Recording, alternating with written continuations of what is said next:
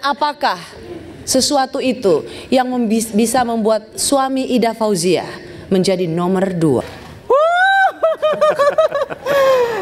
Apa sih kok Ah, iya bener. Ternyata.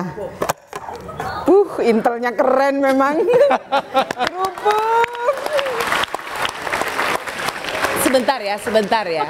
Saya baru se- se- bertahun-tahun saya memandu talk show, baru sekali ini ada orang lihat kerupuk.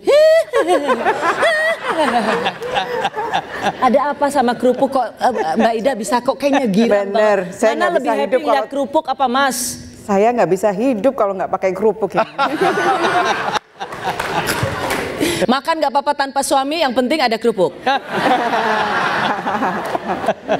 Bukan begitu. Makan terasa enak bersama suami didampingi kerupuk. Gitu. Oh, iya.